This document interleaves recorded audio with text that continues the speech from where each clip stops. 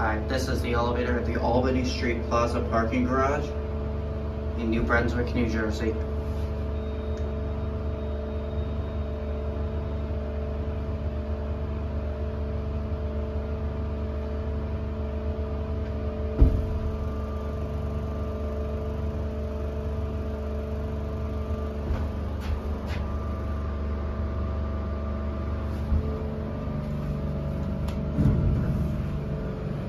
Guess it never moved. Epic I guess it's not working.